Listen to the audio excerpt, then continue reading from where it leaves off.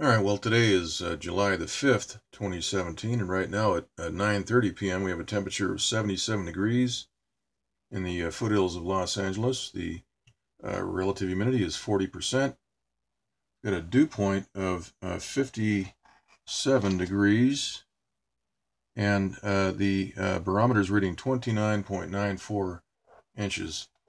And today we saw a lot of uh, cumulonimbus clouds forming over the uh, San Gabriel Mountains in Southern California. And uh, those uh, thunderheads were being blown apart. Unfortunately, I didn't have my camera with me, uh, and but I will keep that handy tomorrow. We can see the monsoonal thunderstorms, especially right here. These giant supercells are being blown apart. And we'll take a look at that in the visible light map here in a second. But we can see the flow moving north into California. If we look at the uh, Intellicast Doppler map right now, we see that there's very little rain in uh, Southern California or Arizona. Uh, those thunderheads have been uh, blown apart. Just like the uh, graphic I showed from, uh, I believe it was Puerto Rico, or no, it was Costa Rica back in 2015. I think it was July of 2015, where the thunderhead was being targeted and uh, it was being blown apart, and we saw the rainbow colors as the sun shined through that uh, giant cumulonimbus cloud. So those uh, are being superheated over the mountains uh, all day. They were being superheated all day today, and uh, so, and of course, we had a lot of chemtrails uh, sprayed offshore and down south, which drifted into Southern California today. Uh, here's the water vapor map. And we can see the uh, side blowing out of this supercell right here. You can see the shock wave actually at the end of this loop, right? Right there.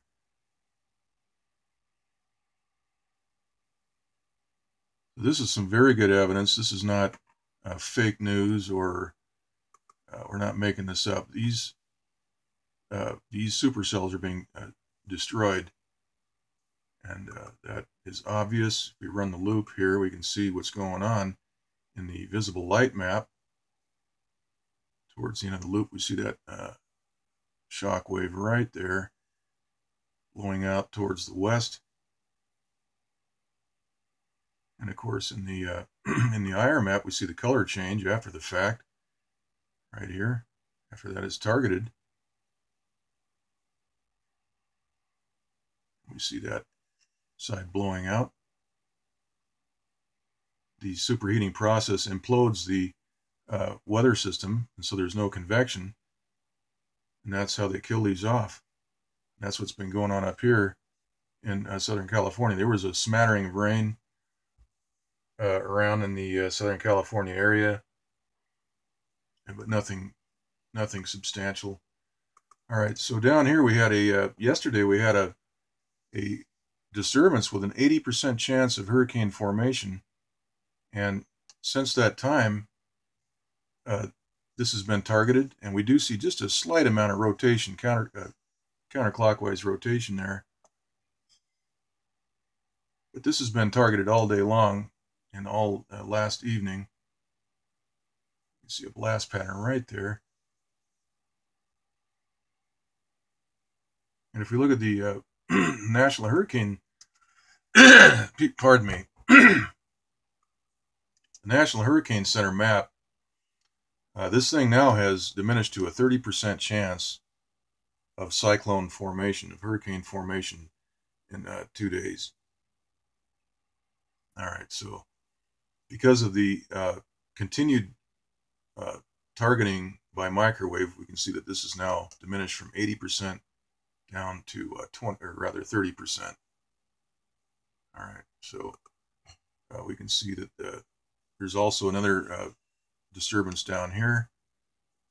If we go out to the Atlantic, uh, we can see that there is a, uh, a disturbance with a, uh, actually this is now a tropical depression, number four, right here. And that is overexposed. Okay, well, that is a tropical depression uh, number four with uh, 30 mile per hour winds, and this is moving west northwest. Keep an eye on that. And as a forecast to run right towards uh, Florida and Georgia. So we'll keep an eye on that.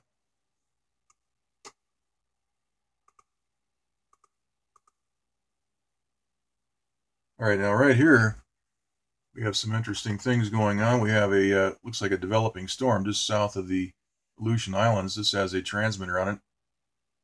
You can see that right angle firming up right there towards the end of the loop. And we have another sort of a stationary low pressure. This has been here for a couple of days. And this uh, area right here is a blockade. This has been engineered to uh, wall up this uh, jet stream flow. This is the jet stream portion of it.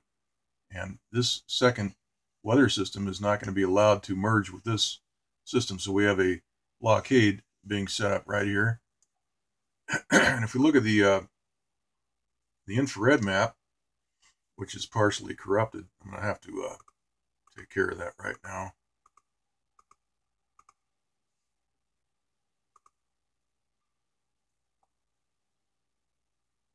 Okay. There it is. About uh, eight frames of this video are corrupted, so I had to uh, turn those off. Anyhow, we see the uh, the blockade, uh, which has been engineered to separate this next developing uh, weather system from what's going on right here. We got two low pressure systems, and they're not going to allow these to uh, get together. And we have high pressure right here. We can see all the clockwise rotation and that will suck some of this uh, tropical flow up towards California because we've got we've got to maintain this high pressure in order to prevent this low pressure from moving in and delivering rain. And so that is clear to see. We've got high pressure that's installed to block this, but at the same time, it's winding a lot of monsoonal moisture right into California. And so tomorrow we have a forecast for 105 degree temperatures up in the uh, San Fernando Valley uh, as this high pressure intensifies to block not only this uh, low pressure from moving in and delivering cooler, uh, damper weather, but also this uh, system. This is going to be interesting to see where this goes. If this comes down around to the south or if it moves up and over. So they're going to have to uh, Looks like they're filling this out with high pressure right now. You can see the uh, dark area filling out. And so that will ensure that this uh, system probably will not wrap around to the south. It will uh, be forced up into uh, Alaska. We'll have to see what happens, but it looks like they're uh, they've got some power right here, focused right in that area. This is a, a low pressure system right here.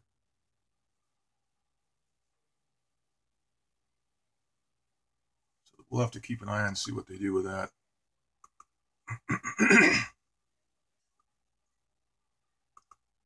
okay, so here's the jet stream map, and uh, they're showing some jet stream flow around that low pressure system we were just looking at. Let's take a look at the uh, the MODIS Today map. This is the color satellite a map for uh, the southwest, and we can see a lot of uh, chemtrail spraying uh, right here on the right side. In this area. There's a lot of tropical moisture moving up. And here's LA right here. And this was taken probably around noontime. This all moved up. We saw a lot of chemtrails uh, sprayed over the top of this entire uh, moisture field right here.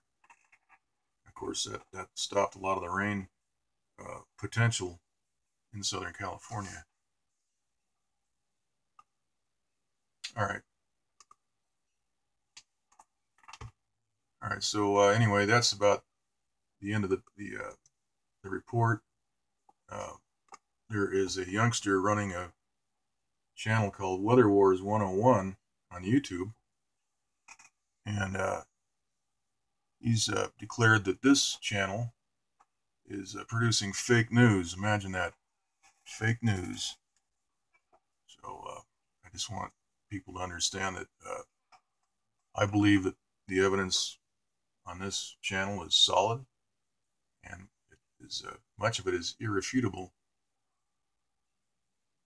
And uh, the the thing about Weather Wars 101, his material is uh, mainly